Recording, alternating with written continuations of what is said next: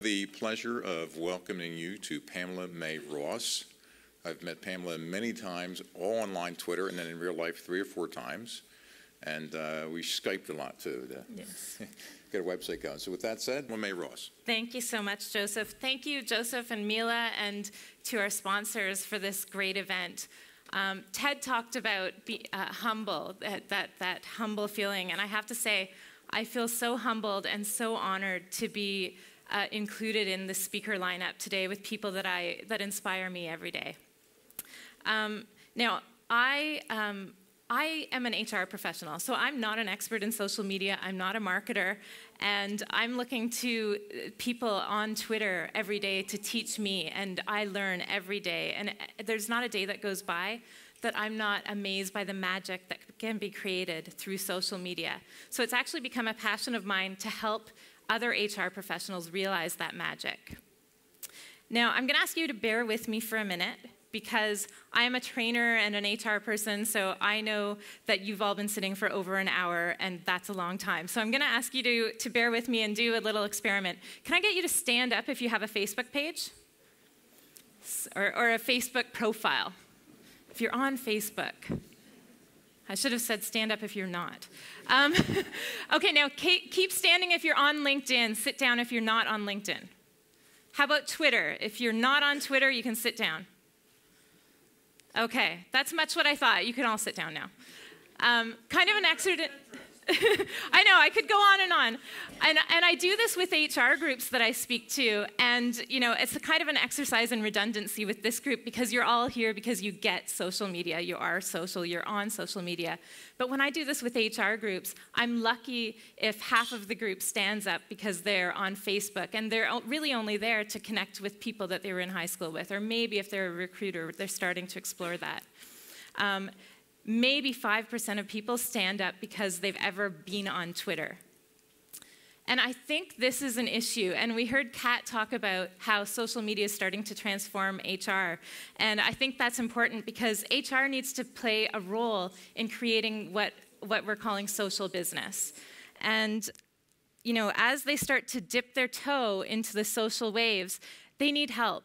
And so it's kind of become a passion of mine for, to help them to realize what social media can do, both for themselves and for their business. And today, I'm going to focus more on what it can bring to, to the business and, and your workplace, um, because we all know how it can really impact you personally. So I think Kat also talked a bit about Generation Y and the digital natives entering the workplace. These people expect to be able to share friction, frictionlessly. That's a, that's a tongue twister. They expect to be connected all the time. They say things like, I can't work without my Facebook. So, how do we now connect and engage a workforce that expects that sort of, that sort of thing? And it is scary, especially when you don't know and you don't understand the risks that are involved. So, you know, part of educating HR is, is helping them understand what, what Twitter is, what's Dropbox, what does it mean when someone leaves the company and still has access to, to their Dropbox files. Unless HR understands what all of these social media, you know, repercussions are, it's really hard to protect the organization, and HR does have a role in protecting the organization from these things. So part of it is helping to educate HR, and I actually ask for your help being social media experts far more than myself. Um, if you know HR people, help them get a Twitter account. Help them understand the kind of conversations that happen in social media. And it's scary, and I would be remiss if I didn't talk about some of the fears that I hear from, so, from HR professionals or from business leaders that aren't involved in social media. One is about productivity. You know, my employees aren't going to be productive if I open up access to Facebook or to these social tools within the workplace. Another is this impact of kind of a megaphone effect of social media. So if my employees are unhappy with something that's happening at work, they're going to go on Twitter or on Facebook and share that and that's scary. So my answer to this is actually it's not social media that's creating those problems. It's the culture or the engagement of your employees. The a, product, a non-productive employee is going to find a way to be not productive, whether they're using social media or not. So, you know, I'd rather see what they're doing, see what they're posting, be able to answer those, those questions, be able to answer concerns, and know what's bothering people so that I can engage them better. So certainly there's risks, but the more we understand social media, the more HR can, can really play a role in creating better culture. So that's where, uh, you know, again, I ask for your help in educating them, and I, I work on educating HR professionals about how they can bring social media within the workplace. But the thing is, it's not just about the tool, it's not about, about technology, it's actually about culture. And this is where I think there's a great lesson in social media as well. Social media campaigns, the really successful ones, are all about listening, connecting, and engaging with fans and customers. Really successful organizations within the workplace also do these things within the workplace. When you look at engagement, it's a, you know the, the Gallup 12 questions, which are kind of the recognized uh, questions for, for measuring engagement. They're about feel I feel like my opinions matter. I feel like I have a friend at work. Um, let's see, I feel like I have the opportunity to do what I do best at work. And by using social tools and creating a more social business culture, we can engage people in these ways. So I've been fortunate to work in social businesses before social media was around. I was a community manager because I was a, I was a bartender. And I think, bar, right? I mean, come on. what, who's a better community manager than a bartender? My job was to listen to my, to my guests at the bar, you know, connect with them, engage them, connect them to each other, and really create a community in my neighborhood. So I was fortunate to work with a really in a really social business, and uh, getting into HR and looking at the employee experience and how we made the employee experience social. Um, you know, was, was really fascinating. And now we have tools to help. So in the restaurant business, we used to recruit in a social way. We had team interviews. Um, the restaurant I worked at was all about being fun and, and being a little loud and, and out there. So we had people stand up and tell a joke in front of, in front of the other group of interviewees. That was creating that social culture right from the beginning now there's lots of tools that you can use socially to, to kind of measure whether someone would be a fit with your culture. So you can have employees posting YouTube videos about what it's like to really work here. You can have um, candidates asking questions and real employees, real employees answering them.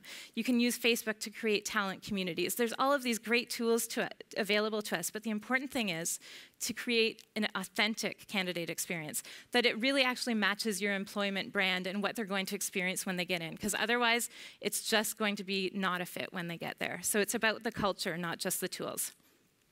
In the restaurant industry, we used to, to train people in groups and create a learning community of people who were getting trained together. So they had peers to go to with questions and work together on, on things.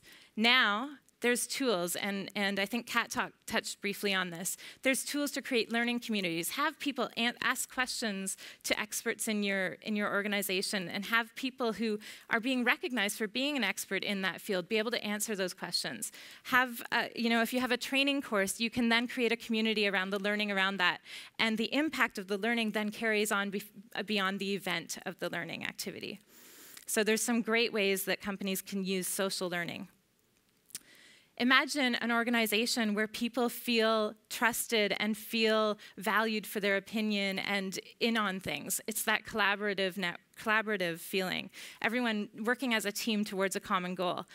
gamification. We used to play games during training. We'd have people work together towards a towards a, a, goal. They would win prizes. This is this is a balloon race we used to do. I can explain it later. It's a lot of fun.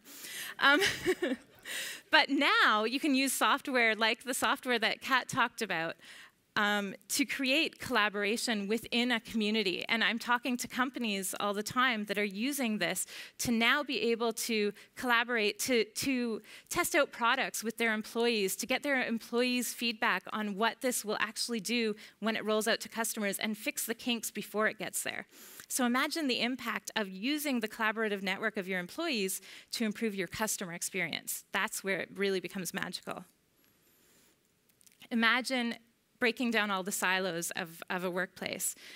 Um, companies who are using different software for, for project management or for looking at talent development or for collaboration are seeing the impact of being able to connect with people that you may not have ever met. Maybe they work globally, maybe they work in another province or another state, but you're able to actually connect with them online before you make a phone call or ask for their help on a project that you're working on you're able to post where you're at with that project online so everyone knows and they're not calling you daily to find out. So the impact on productivity is amazing.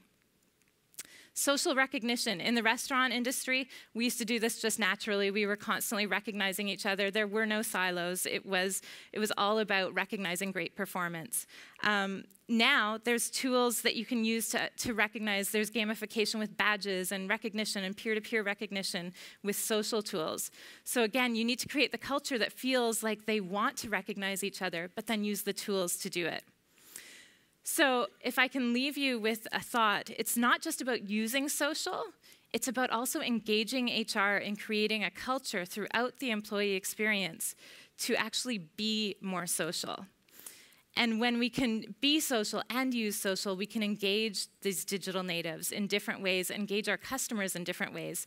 And that's, what's all, that's what starts to create extreme engagement. Thank you very much.